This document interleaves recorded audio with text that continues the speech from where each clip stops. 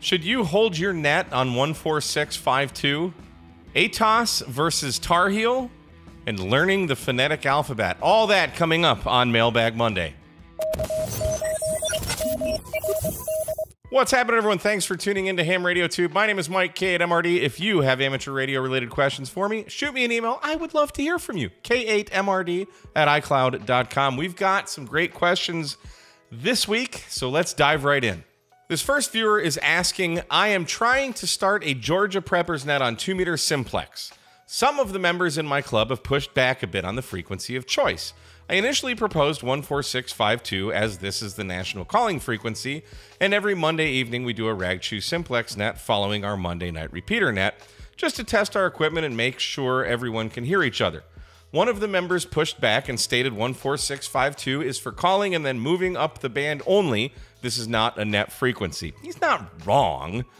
I asked, what do you suggest for a good one that doesn't interfere with local repeaters and will not affect calling frequencies? He suggested 14655. I said, okay, that works. Sent out an email stating the change and a Discord announcement at the same time. More people pushed back again, saying 14655 will interfere with a local 146850 repeater. That is insane. I said, let's do a test and check interference. Some say it will, some say it won't work, others say screw it, go back to 5 2. We do it there anyway, who cares? I'm kind of of that opinion. I'm fairly new to the hobby, being only licensed for two years, and the old heads around here don't like change, I think, and don't want their little rag chews stepped on. Could you suggest some advice for dealing with this situation? So, while it is true 14652 is the national simplex calling frequency, uh, I have traveled all over this great country while monitoring 14652, and almost never, ever does anyone uh, talk on 52 that I've heard. I actually did have a QSO I passed a guy coming back from Huntsville Hamfest who was a ham, and he saw my uh, car and, and we had a nice chat. But other than that, that was like the only time I've ever driven across country and had a conversation on 5.2. So if you live in an area that actually has activity on 5.2, congratulations. Yes, technically it is the calling frequency, and technically you should move up, but I'm kind of of the mindset that if nobody's using it, use it. Who cares? That way, if somebody actually does need to use it, has an emergency or something, or wants to make a call, they know that their radio at least works and they can hear you and they can break in and say, Hey, can I make a, I got to make a call real quick. You guys can stop your net, let them make the call. They can move on to another frequency. That's fine. Now, if people are using it, uh, it might not be a good idea to use 5.2 as a net. Uh, but I can tell you here at my house, I have 14652 monitoring almost all the time, and I never hear anybody. I mean, like months, years go by, and I don't hear anyone on 52. So it's it's unfortunate that it doesn't get moved uh, or or used as much as it should. What else did you say? Yeah, uh, the the 146850 repeater is definitely not going to be interfered with by 14655. It sounds like you've got a crybaby net not a preppers net. So maybe you need to maybe you need to start a new group. But let, let, let me just show you uh, what you can do. So one thing I did when I first got licensed, I printed off this chart right here that has the 2 meter and 440 simplex frequencies. Don't ask me where I got this. Just Google 2 meter FM simplex frequencies and you'll come up with a whole uh, list here. But 2 meter FM call 14652. You also have 146 535 550 565 580 595 147 405 147 420. They're 15 kilohertz apart, is basically the gist of it. So uh, if you're on 550, let me just show you. So here we have my home radio here is 50 watt mobile radio tuned to 146850 and my ICOM ID50 is tuned to 146550. Let's just key up right here, right next to the radio. K8MRD. See how 146850 is not being interfered with at all? So that just debunked uh, your friends there saying that it's going to interfere with that frequency, which, by the way, that's a repeater frequency. And if we tune this to 850, we'll have a negative offset, which will transmit on 146250. So nowhere near that simplex frequency. You are fine on 146550. Now, This radio is on 14652. If I just go to 14653, key up, yeah, we got some interference there. But if I go to 535, look at that. We're 15 kilohertz away. There's no interference. You want to go to 550, knock yourself out. You want to go to 555, knock yourself out.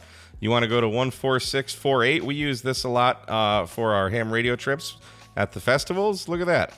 Nothing. You can go all over the place. My buddy Vern and his wife Renee use 146540 when they're traveling and they are using different cars. So they're not on FM simplex. That's just kind of the frequency they chose to use for traveling. You can use any frequency you want. You're not going to interfere. You want to go to 585, knock yourself out.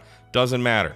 So I would say pick a frequency. If you want 146.55, I think that's a great frequency. 146.58 is also kind of like another uh, kind of popular FM uh, two meter simplex frequency. Maybe try that.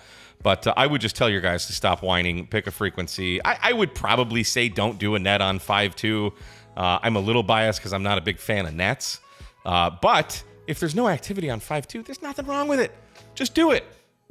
Somebody will probably complain. There's probably the two meter police out there that just does nothing but monitor two meter simplex. Uh, only for people like you that will say you need to get off. This is for calling for. Who cares? Just just have a net. Five five. You're fine. Just do it. Next, we've got the age-old question: ATAS versus Tar Heel. This viewer writes, "Hey, Mr. Mike, I'm I'm a Mister now." So as to not compromise your relationship with those who help you with products to test, I beg a question. I bought a van last year, a very tall van, and I'm now just getting around to making it into a POTA shack. That sounds awesome. In the past, I've been extremely happy with my Shark ham sticks. I do hear good things. Now I'm chomping at screwdriver antennas. I've heard pros and cons about both the ATAS and the Little Tar Heel 2. While I'm leaning towards the Little Tar Heel 2, I'd like your opinion on which you like the best, as I kind of respect your opinion. Just kind of? Many hams really don't like the ATAS, but there are a lot of fans, myself included. Plus, it's an easy hookup to the FT891 and it's less expensive. Little Tar Heel 2 is a bit more expensive, well, a lot more. So, if reasonable money wasn't an object, how would your dice roll? Well, there is a reason the Yaesu ATAS is on my car and the Little Tar Heel 2 is sitting in a bucket in the corner of my shack here, not being used.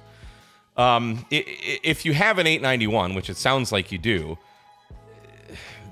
there's no reason to not use the ATAS. In terms of performance, and I've used both the Little Tar Heel 2 for many years and now the ATAS for many years.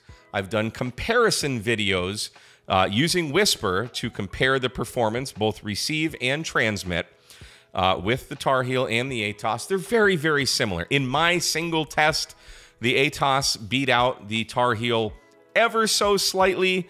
But honestly, if I did another test on another day, the Tar Heel could have been. I mean, it was it was negligible.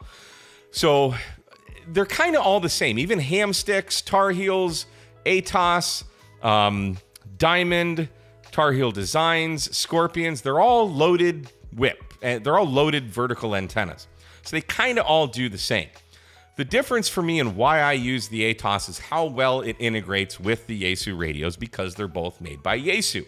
You literally push one button on the 891 or any ATAS compatible Yaesu radio, and the antenna just tunes itself and it just works. Whereas the Tar Heel, you need to get a separate control box. I mean, it comes with an up and down button if you want to do it manually, but you have to buy a separate control box uh, that you can save the memories for each band and stuff, but you still got to fine tune it every time you go back to that band. There are RF sensing control boxes as well. I've used the MFJ one, didn't have great success with it. There are other ones, I forget the names, but they're probably better and cost more money.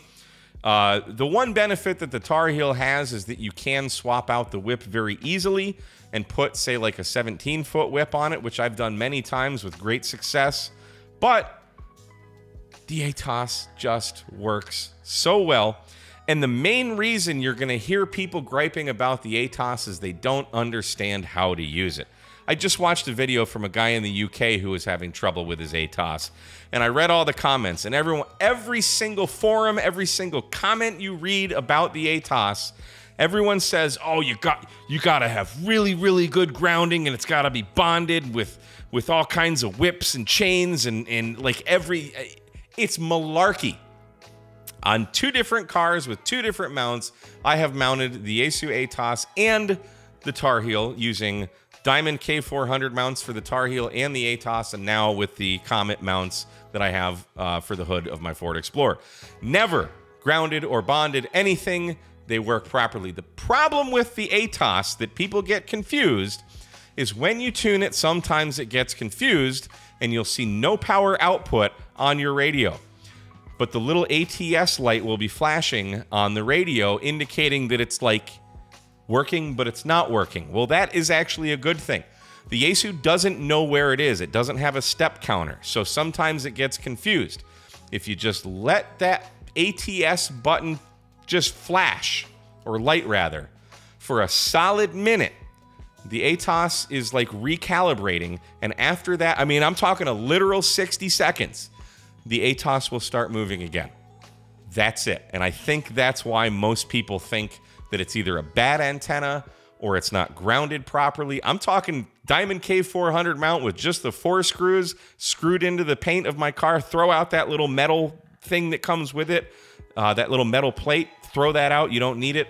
I preach the good word about the Yaesu ATAS time and time again. Uh, if you have a Yaesu radio, it's kind of a no-brainer. If you don't have a Yaesu radio, ah, there's probably a way to get it to work. I know there is. Um, but it's not as easily integrated. So you might want to go the Tar Heel route. But dude, the the ATAS, I have made so many contacts with that antenna. DX in the states, all over the world, sitting in my car, driving down the road. I worked a guy in Costa Rica when I was driving up to Dallas for field day. No grounding, no bonding, nothing. It just works. Now, I do have grounding just by the way I mounted it, but I didn't do anything special. I literally just bolted the mount to my car, screwed the ATAS in, screwed the coax into my radio, and it worked. So, have I gone on enough about how much I like the Yaesu ATAS antenna? All right, thanks for writing. Lastly, we've got a question about the phonetic alphabet. This viewer writes Hi, Mike. Don't know if you have any suggestions for this. I've been an amateur for a couple years now.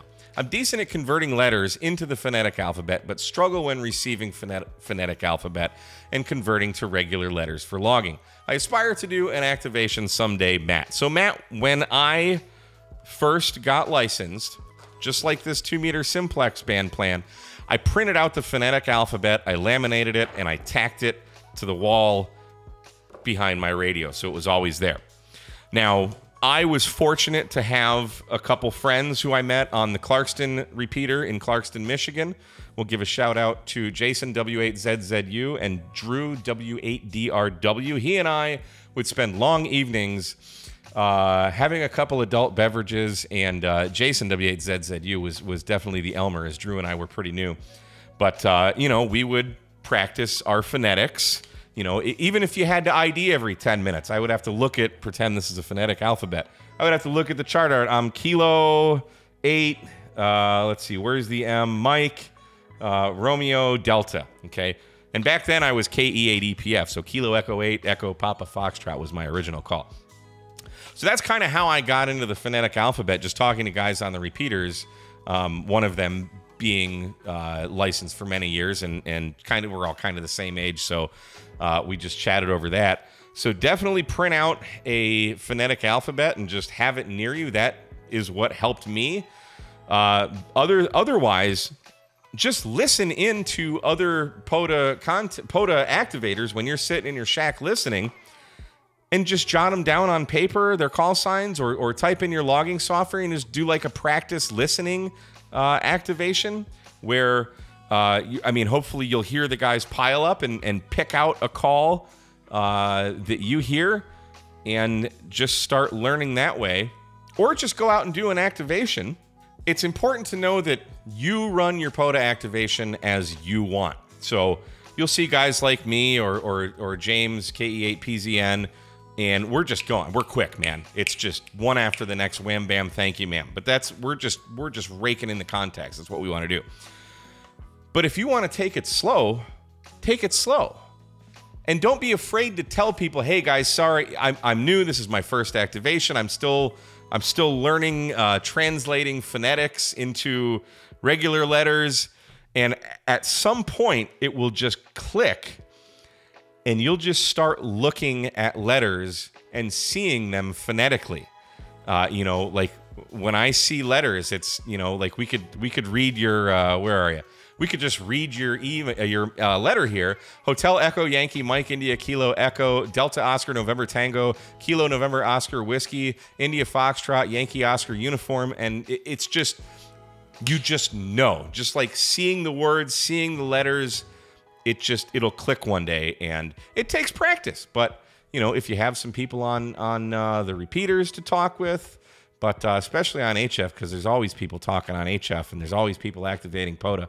Listen to their activations and transcribe it uh, as as best you can. And the only thing you can do is get better. So that's my advice. And guys, if you've got amateur radio related questions for me, please shoot me an email, k8mrd at icloud.com. My name is Mike, K8mrd. Thanks so much for watching Ham Radio Tube. We'll see you next time. 73.